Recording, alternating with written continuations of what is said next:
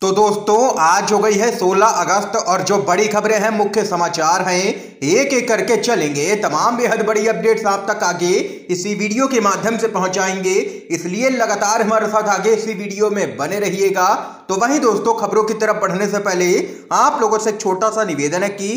अगर आप लोग भी खुलकर के देश भर में लगातार नफरत फैला रही गोदी मीडिया का पूर्ण तरीके से बहिष्कार करते हैं विरोध करते हैं तो अब इस वीडियो को लाइक कीजिएगा चैनल को फ्री में सब्सक्राइब करके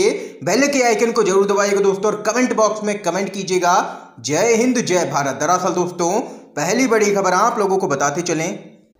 बिहार ने विपक्ष को जगाया है बीजेपी से मुकाबले के लिए ईवीएम बनेगा हथियार क्या कुछ है पूरा मामला खबर बताते चले बिहार में भाजपा जेडीयू गठबंधन टूटने के बाद एक बार फिर विपक्ष में नजदीकी बढ़ने लगी है विपक्षी दल अब केंद्र की भाजपा सरकार को घेरने के लिए मुद्दा तलाश रहे हैं फिलहाल विपक्ष भाजपा को घेरने के लिए पुराने मुद्दों पर एकजुट हो रहा है और वहीं बताते चले कांग्रेस सहित ग्यारह विपक्षी दलों ने केंद्र में भाजपा के नेतृत्व वाली सरकार के द्वारा इलेक्ट्रॉनिक वोटिंग मशीन धन बल और मीडिया के दुरुपयोग के खिलाफ लड़ने का संकल्प लिया है और दावा किया है कि यह लोकतंत्र के लिए सबसे गंभीर चुनौती है बताते चले 11 पार्टियों में Congress CPM Samajwadi party Baspa CPI NCP TRS RJD RLD welfare party और स्वराज इंडिया शामिल हैं और वहीं बैठक में इन पार्टियों ने तीन प्रस्ताव पारित किए हैं राजनीतिक दलों ने बैठक में भारत के चुनावी लोकतंत्र के सामने थ्री एम यानी कि मशीन पैसा और मीडिया की चुनौती पर चर्चा और विचार विमर्श किया है और सर्वसम्मति से उन प्रस्तावों को पारित किया है और वहीं खबर निकल के आ रही है कि आगामी दिनों में एक बड़ा यहां पर प्रदर्शन भी देखने को मिल सकता है ईवीएम के खिलाफ ये यहाँ पर विपक्षी दल अब यहाँ पर केंद्र सरकार को घेरने की तैयारी कर रहे हैं दोस्तों अगर आप लोग भी ईवीएम e के जरिए वोटिंग का विरोध करते हैं तो इस वीडियो को लाइक करके अपना समर्थन दर्ज करवाइएगा अगली अपडेट की तरफ बढ़ते हैं अखिलेश यादव बोले महंगाई और बेरोजगारी चरम पर है प्रेस की आज़ादी में भी हम पीछे हैं ये काफ़ी चिंता का विषय है खबर बताते चले आप लोगों को समाजवादी पार्टी के राष्ट्रीय अध्यक्ष अखिलेश यादव ने कहा है कि हमारे लिए चिंता का विषय है कि महंगाई तथा बेरोजगारी चरम सीमा पर है दुनिया के तमाम आंकड़ों को देखें तो स्वास्थ्य प्रेस की आज़ादी आदि में हमारा देश काफ़ी पीछे नजर आता है अखिलेश यादव ने जबरदस्त तरीके से बीजेपी सरकार को निशाने पर लिया है और उन्होंने बेरोजगारी और लगातार बढ़ती हुई महंगाई पर काफ़ी चिंता जताई है इसके साथ ही अखिलेश यादव ने आगे कहा है कि हम भले ही आज़ादी के 75 साल पूरे होने की खुशी मना रहे हैं लेकिन हमें चिंता भी करनी चाहिए हम चिंता करें कि देश में जाति का भेदभाव आखिर कैसे दूर होगा हम सभी मामलों में गंभीर हो जाएं तो दुनिया में हमारा देश यहाँ पर काफ़ी आगे बढ़ता हुआ नजर आएगा ये यहाँ पर अखिलेश यादव की तरफ से बड़ा बयान आया है और उनका कहना है कि प्रेस की आज़ादी पूरी तरह से खतरे में पड़ चुकी है देश के अंदर मीडिया को बोलने की आज़ादी नहीं रही है इस खबर पे आप लोगों की क्या कुछ राय है अपनी राय कमेंट बॉक्स में बताइएगा जरूर अगली अपडेट बताते चलें राकेश टिकैत ने निकाली है तिरंगा यात्रा बोले सरकार के दिमाग से ट्रैक्टर और तिरंगे को नहीं निकलने देंगे खबर आप लोगों को बताते चले देश भर में हर घर तिरंगा मुहिम को लेकर के लोगों में जोश दिखा इस बीच यूपी के मुजफ्फरनगर के किसानों ने महारा ट्रैक्टर महारा तिरंगा रैली निकाली है किसान नेता राकेश टिकैत की अगुवाई में यह रैली निकाली गई जिसमें बड़ी संख्या में किसान शामिल हुए इस दौरान राकेश टिकैत ने कहा कि सरकार के दिमाग से ट्रैक्टर और तिरंगे को कभी भी नहीं निकलने देंगे और वहीं राकेश टिकैत इस समय केंद्र सरकार से खुश नहीं हैं। उन्होंने सरकार पर किसानों के साथ में वादा खिलाफी का भी आरोप लगाया है और ऐसा माना जा रहा है कि वह एक और बड़ा आंदोलन यहां पर शुरू कर सकते हैं जो कि यहां पर देशव्यापी आंदोलन होगा महंगाई किसानों के खिलाफ जो सरकार ने वादा खिलाफी की है उसके लिए और जो लगातार बेरोजगारी देश के अंदर बढ़ रही है उसको लेकर के राकेश टिकैत तैयारी कर रहे हैं एक बार फिर से सड़क पर उतरने की इस बीच एक और बड़ी खबर की तरफ बढ़ते हैं दोस्तों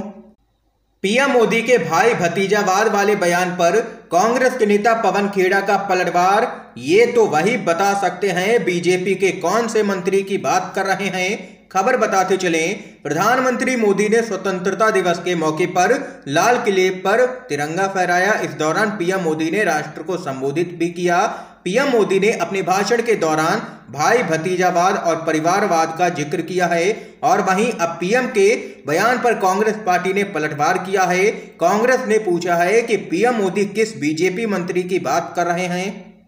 पीएम मोदी के बयान पर कांग्रेस के प्रवक्ता पवन खेड़ा ने कहा है कि मुझे लगता है कि यह भाजपा का आंतरिक मुद्दा है ये उन्होंने तंज कसा है भारतीय जनता पार्टी का भाई भतीजावाद केवल पीएम मोदी ही स्पष्ट कर सकते हैं कि उनका हमला उनके अपने मंत्रियों पर था या उनके बेटों पर हमें नहीं पता कि उन्होंने किस पर हमला किया है लेकिन देश को उम्मीद थी कि वह पिछले आठ साल का रिपोर्ट कार्ड पेश करेंगे और बताएंगे कि उन्होंने जो वादे किए थे वो कितने पूरे हुए हैं लेकिन उन्होंने ऐसा कुछ भी नहीं किया है ये यहाँ पर कांग्रेस पार्टी भड़की है पीएम मोदी पर सीधे तौर पर एक और बड़ी खबर बताते चलें जरूरत पड़ी तो बीजेपी गुंडागर्दी का भी सहारा लेगी तेलंगाना बीजेपी के अध्यक्ष का विवादित बयान खबर आप लोगों को बताते चलें तेलंगाना बीजेपी के प्रदेश अध्यक्ष बंदी संजय ने कहा है कि टीआरएस के मंत्री और विधायक लाइसेंस प्राप्त गुंडों की तरह व्यवहार कर रहे हैं जरूरत पड़ी तो बीजेपी भी गुंडागर्दी का सहारा लेगी और इनका अब यहां पर यह बयान सोशल मीडिया पर वायरल हो चुका है जिसके बाद लोगों ने भाजपा को जबरदस्त तरीके से निशाने पर लेना शुरू कर दिया है आप लोगों को बताते चलें सोशल मीडिया यूजर्स का कहना है कि यही है भाजपा की असली हकीकत ये लोग सत्ता से दूर रह नहीं सकते हैं राज्य के अंदर भाजपा की सरकार है नहीं इसलिए भाजपा बौखलाई हुई नजर आ रही है और अब गुंडागर्दी पर उतरने की बात कर रही है इस बीच एक और बड़ी खबर आप लोगों को बताते चलें मुख्यमंत्री ममता बनर्जी बोली उनका सपना ऐसे भारत का निर्माण करना है जहां पर कोई भी भूखा ना रहे पश्चिम बंगाल की मुख्यमंत्री ममता बनर्जी ने कहा है कि वह एक ऐसे राष्ट्र का निर्माण करना चाहती हैं जहां पर कोई भी भूखा ना रहे जहां कोई महिला असुरक्षित महसूस ना करे और जहां कोई दमनकारी ताकतें लोगों को बांट ना सकें उन्होंने कहा है कि इस महान राष्ट्र के लोगों से मेरा वादा है कि मैं अपने सपनों के भारत के लिए हर प्रतिदिन प्रयास करूंगी इसके साथ ही उन्होंने यहां पर केंद्र की मोदी सरकार को भी निशाने पर लिया है और उस पर तानाशाही करने का आरोप लगाया है और कहा है कि लगातार ये सरकार समाज को बांटने का काम कर रही है ये यहाँ पर ममता बनर्जी का बड़ा बयान आया है दोस्तों अगली अपडेट की तरफ चलते हैं रोजगार को लेकर के तेजस्वी यादव का बड़ा बयान कहा बिहार ने मिसाल कायम की है यही बनने जा रहा है असली मुद्दा जी हां दोस्तों खबर बताते चलें बिहार के उप मुख्यमंत्री तेजस्वी यादव ने कहा है कि सब चीज पर काम शुरू हो चुका है और सबने देखा है कि गांधी मैदान से आज़ादी के दिन घोषणा नहीं हुई बल्कि मोहर लगी है भाजपा के लोगों ने दो साल बर्बाद कर दिए वरना नौजवानों के हाथों में नौकरियां होती आज और वहीं आप लोगों को बताते चले राज्य के मुख्यमंत्री नीतीश कुमार ने गांधी मैदान से घोषणा की है कि हम 10 लाख नौकरियां देंगे जिसको बढ़ा करके अब 20 लाख किया जाएगा हम इसके अलावा नए रोजगार बनाने का भी काम करेंगे हम लोग अपने वादे को पूरा कर रहे हैं यह अच्छी बात है कि रोजगार पर चर्चा हो रही है और वहीं बिहार के डिप्टी सीएम तेजस्वी यादव ने कहा है कि हम सच्चे समाजवादी हैं जो जो उपदेश देते हैं उस पर अमल करते हैं हम जुमला पार्टी नहीं है बिहार ने मिसाल कायम की है पैमाना तय किया है इससे पूरे देश में गहरा संदेश गया है और यही असली मुद्दा अब यहाँ पर बनने जा रहा है ये तेजस्वी यादव की तरफ से बड़ा बयान आया है इस बीच एक और बड़ी खबर बताते चलें राजस्थान में दलित बच्चे की पिटाई करने के आरोपी को कड़ी सजा दी जानी चाहिए राहुल गांधी का बड़ा बयान आया है सामने खबर बताते चले कांग्रेस के पूर्व अध्यक्ष राहुल गांधी ने राजस्थान के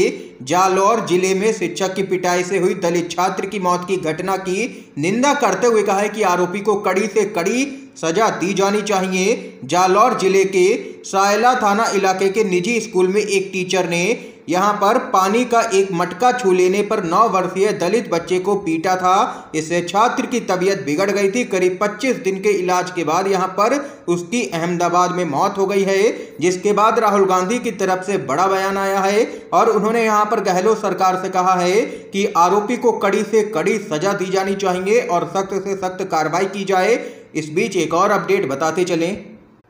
पचहत्तर साल पहले देश ने दिखाई थी सच्चाई अहिंसा के रास्ते पर चलने की ताकत राहुल गांधी का बड़ा बयान आप लोगों को बताते चले आजादी गौरव मार्च के दौरान कांग्रेस के नेता राहुल गांधी ने कहा है कि पचहत्तर साल पहले देश ने पूरी दुनिया को सच्चाई और अहिंसा के रास्ते पर चलने की ताकत दिखाई और पार्टी ने स्वतंत्रता सेनानियों के बलिदान को याद किया है और वहीं अपने स्वतंत्रता दिवस भाषण में प्रधानमंत्री नरेंद्र मोदी की भाई भतीजावाद और वंशवाद के बारे में टिप्पणी के बारे में पूछे जाने पर राहुल गांधी ने कहा है कि वह इन चीज़ों पर कोई भी टिप्पणी नहीं करेंगे ये यहां पर राहुल गांधी की तरफ से बड़ा बयान सामने निकल के आया है दोस्तों इस समय की आज की सभी बड़ी खबरें थी मुख्य समाचार थे जो हमने आप लोगों तक पहुंचाए हैं यू एंड वीडीवी के माध्यम से अगर आप लोगों को ये वीडियो पसंद आया हो तो इस वीडियो को लाइक कीजिएगा ज़्यादा से ज़्यादा इस वीडियो को शेयर कीजिएगा ताकि आप सभी के दोस्त भी मुख्य समाचारों को जान सकें वीडियो देखने के लिए दोस्तों आप सभी का बहुत बहुत धन्यवाद